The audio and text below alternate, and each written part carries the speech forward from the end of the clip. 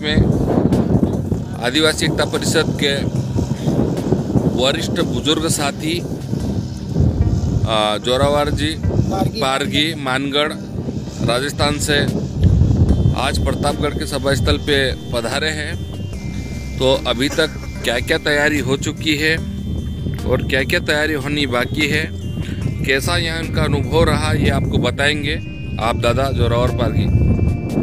मेरा अनुभव ये है कि लगभग में उनतीस अधिवेशन एकता महापर, महासम्मेलन के अंदर में गया जिसमें 26 एकता महासम्मेलन मैंने अटेंड किया है और प्रतापगढ़ के अंदर में युद्ध स्तर पर तैयारी चल रही है।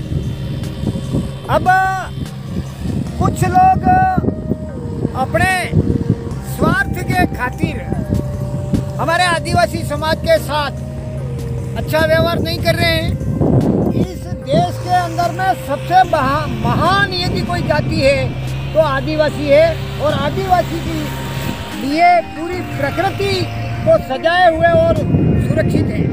इसको देखते हुए आदिवासी एकता महा सम्मेलन युद्ध स्तर पर तैयारी चल रही है। सामने टेंट लग रहा है, जेसीबी से यहाँ वो कर रहे हैं। सामने स्टॉल लगने, लगाए गए हैं।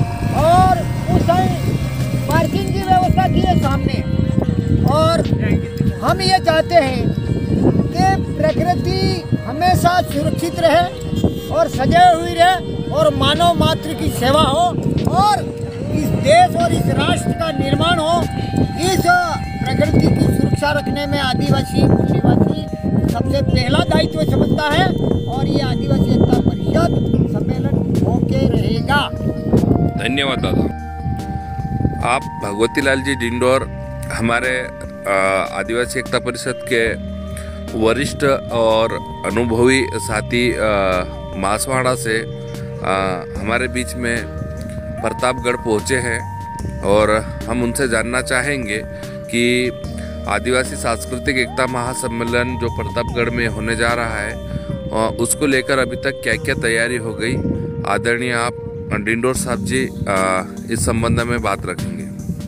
जी बिल्कुल रावत साहब। ये हमारा आदिवासी एकता परिषद का जो महासम्मेलन होने जा रहा है, इसको लेकर जो प्रारंभिक तैयारियाँ हैं, वो लगभग हो चुकी हैं और आगे कार्य प्रगति पे है।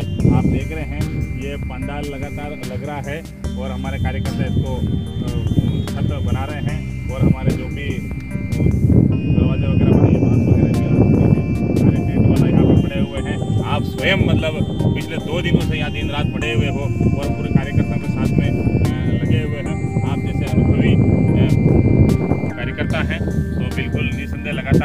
तैयारियाँ जारी हैं और यहाँ पे ये दिख रहा है, ये हमारा, ये सरसों का खेत है। इसकी भी अब कुछ ही देर में ये सफ़ाई हो जाएगी, यहाँ पर गाड़ियों पार्किंग वगैरह भी लगेगा।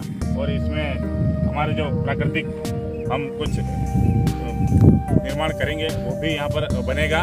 और उधर भोजनशाला रोड के उस पार होगी, कुछ ट्रैफ़िक उधर भी हमारा रहेगा। इधर भी ट्रैफ़िक चारों दिशा में ट्रैफ़िक की व्यवस्था भी है। और हमारे प्रदेश के सभी कार्यकर्ता पदाधिकारी यहाँ पर पहुँच चुके हैं और गुजरात से भी कुछ पदाधिकारी पहुँचे हैं, अभी और भी आ ही रहे हैं और बिल्कुल कार्यकर्ता दिन रात लगे हुए हैं और कार्यक्रम शानदार होगा। जिस किसी को लगता हुआ कार्यक्रम, कुछ लोग ऐसे भी असमंजस कर रहे हैं, कोविड की जो गाइडलाइन के अनुसार ऐसा सोच रहे हैं तो बिल्कुल हम शासन प्रशासन से मिलेंगे, जनप्रतिनिधि से मिलेंगे कार्यकर्ता और निर्बाध रूप से ये कार्यक्रम संपन्न होगा। क्योंकि देश के हित में, राष्ट्र के हित में, प्रकृति के हित में सर्वहितार्थ ये कार्यक्रम है। बिल्कुल ये कार्यक्रम निर्बाध संपन्न होगा। आप सबका सहयोग इसमें अपेक्षित है। जी सर। धन्यवाद, इंदौर साहब जी।